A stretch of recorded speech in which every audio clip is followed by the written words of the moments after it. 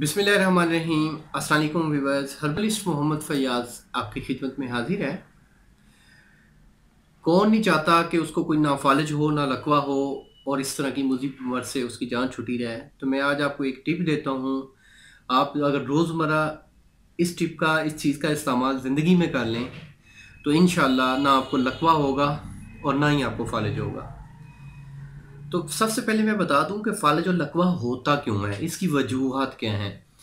تو اس کی جو میرا اس کا جواب ہے، جو سائنسی تحقیق کہتی ہے، جو طبی تحقیق کہتی ہے، یونانی میڈیکل سائنس کہتی ہے، جب شریانوں میں سختی آئے، شریانوں کی بلاکیج ہو جب شریانوں کی ہلکی سی بلاکیج ہو کلیسٹرول لیول اوپر ہو، تو پھر کیا ہوتا ہے؟ بلڈ پریشر یا لو رہنے لگ جاتا ہے یا ہائی رہنے لگ جاتا ہے۔ اب اس میں دو چیزیں ہیں کہ بلڈ پریشر کو سب سے پہلے آپ کو کنٹرول رکھنا چاہیے، کیونکہ بلڈ پریشر کو آپ کنٹرول نہیں رکھیں گے تو آپ کو کسی بھی ٹائم فالج کا اٹیک ہو سکتا ہے۔ تو اس لیے اس کو سائلنٹ کلر بھی کہتے ہیں بلڈ پریشر کو، کیونکہ یہ جس انسان کو بلڈ پریشر ہوتا ہے، چاہے ہائی بلڈ پریشر ہے یا لو ہے، اس کو پتہ نہیں چلتا۔ وہ تو بعض کا کبھی بائی چانس اس نے ٹیسٹ کروا لیا تو تب جا کے پتہ چلتا ہے کہ یہ جو بلڈ پریشر کا پیشنٹ ہے۔ تو اس لیے اپنا بلڈ پریشر چیک کروانا چاہیے۔ اور اس کے ساتھ اگر آپ زیادہ بیٹھے رہتے ہیں، زیادہ آپ ٹینس رہتے ہیں، آپ کو کوئی ذہنی ٹینشن ہے، کوئی آپ کو کاروباری مسائل ہیں، تو آپ کو فالج یا لکوہ ہو سکتا ہے۔ تو اس سے بچاؤ کے لیے آپ بہترین ایک چھوٹا سا ٹرپ ہے۔ یہ آپ نے کرنا کیا ہے کہ آپ نے ہفتے میں دو بار کریلے کی سبزی لازمی استعمال کرنی ہے۔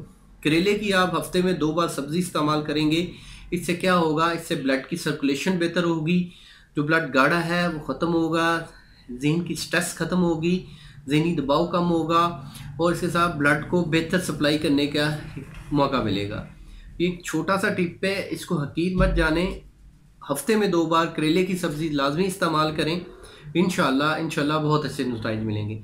یہ اس کے ساتھ جو بلگمی مزاج ہیں، جن کو اکثر بلگم رہتی ہے، سینے پہ بلگم رہتی ہے، تو انشاءاللہ یہ استعمال کریں گے۔ تو سینے بھی بلگم بھی غائب ہوگی۔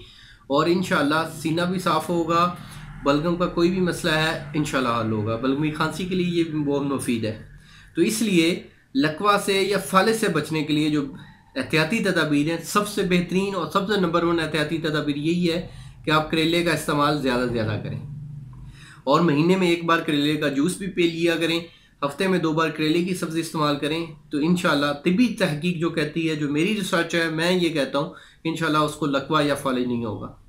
ملیں گے ایک نیکسٹ ویڈیو میں۔ حکیم فیاض آپ سے اجازت جاتا ہے۔ اللہ حافظ۔